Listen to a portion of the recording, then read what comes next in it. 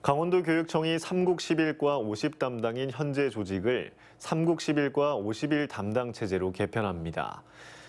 도교육청은 안정적인 유보통합 추진을 목표로 이를 책임질 전담 조직인 유보통합 담당을 신설했다고 밝혔습니다.